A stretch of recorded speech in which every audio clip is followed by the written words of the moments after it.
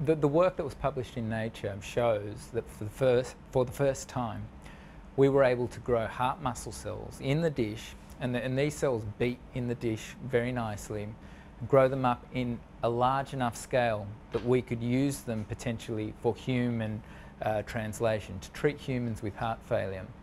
Currently, as cardiologists, we've become pretty good at using drugs to slow down the progression of heart failure and we've become good at, at treating heart attacks as they happen. But we can't replace dead heart muscle. And that's where the stem cells come in. They actually replace dead heart muscle with beating, living heart muscle. And other stem cell types have been used as well, but um, those stem cell types don't have the same heart muscle forming ability.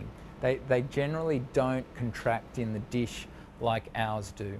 You can see these physically beating robustly. And, and that's the main difference. The cell type that we're using definitely forms heart muscle and we've shown that this heart muscle can replace dead heart muscle. You can see that the pump function of your um, main pumping chamber is actually really quite good, which is great news. The implications of using stem cells to treat um, dead heart muscle after heart attack or heart failure could be enormous. At the moment, the only cure we have is uh, heart transplantation, but many people probably know there are not enough organs to go around. What people often don't know is that many of our patients are sick and they, for other reasons, for lung reasons or some other problem, and they're not actually candidates to be referred for heart transplant. So with stem cells, we could deliver them by minimally invasive procedure.